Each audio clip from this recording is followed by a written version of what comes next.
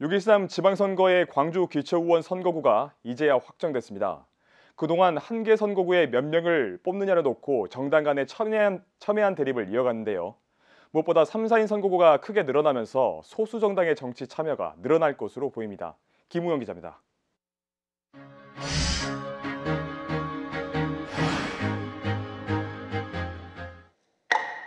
불협 화음 끝에 확정된 광주시 기초의원 선거구 획정안. 정당의 이해관계와 전략 때문에 3, 4인 선거구 확대를 두고 번번이 의견이 엇갈렸습니다.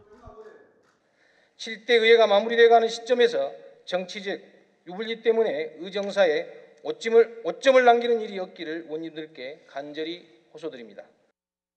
21일에 중앙선관위로 넘어가기 전 극적으로 조례안 의결이 이루어졌습니다.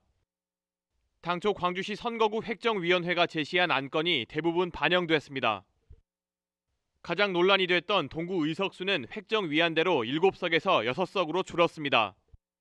인구와 동수 비율 5대 5를 바탕으로 16개였던 구의원 2인 선거구는 3개로 감소했습니다. 여기에 3인 선거구가 9개에서 15개로 늘고 4인 선거구도 2개가 새로 만들어졌습니다. 선거구의 범위가 넓어지면서 기존 정치에 발들이기 어려웠던 소규모 정당은 이를 반기고 있습니다.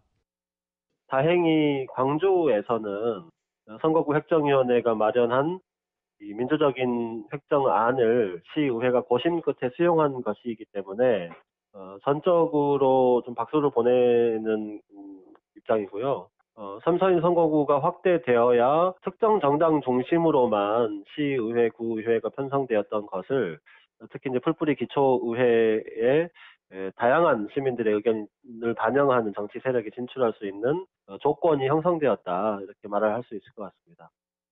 현재 전국 의회에서는 4인 선거구 확대가 무산되거나 마찰이 계속되는 상황입니다.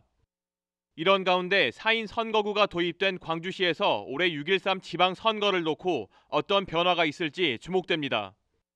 CNB 뉴스 김우향입니다.